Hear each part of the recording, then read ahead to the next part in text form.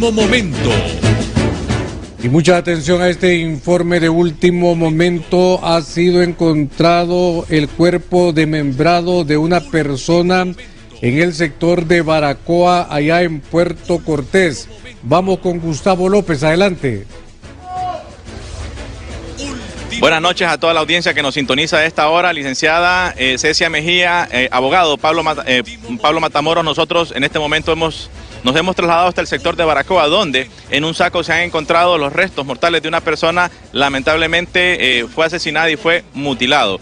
Así como lo acabamos de mencionar, en imágenes se pueden ver cómo lamentablemente se ha perdido ya en este país lo que es la sensibilidad humana, porque vea usted cómo se ha encontrado este cuerpo en este sector acá, en el sector de Baracoa. Podríamos decir que es el segundo callejón luego del callejón principal.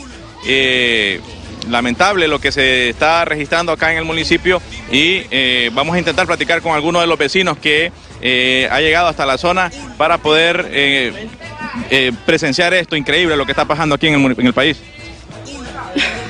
¿Cómo se dieron cuenta? Ah, pues yo miré la gran reunión de gente y me asomé y ah, estaban abriendo el saco y se asomó la, este, estaba la cabeza y realmente me asusté. Eh, pero aquí se había reportado alguna persona desaparecida? No.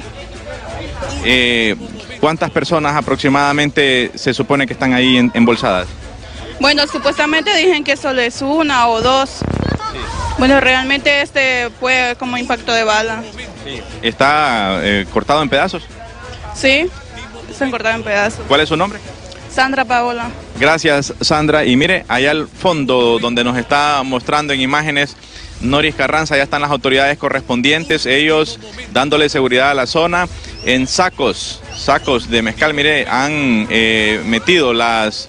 Eh, los miembros de, este cuerpo que hasta este momento es de identidad desconocida, no se sabe quién es porque pues son las autoridades eh, forenses los que eh, tienen que venir para hacer el levantamiento correspondiente y luego ser enviados hasta medicina forense en San Pedro Sula, ¿dónde serán ellos los que determinarán quién era, eh, cuál era el nombre, cómo se llamaba esta persona que lamentablemente ha sido encontrada acá, en el sector de Baracoa.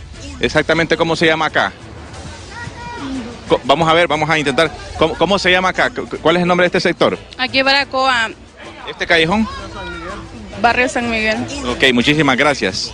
Barrio San Miguel, según lo que nos dicen los vecinos.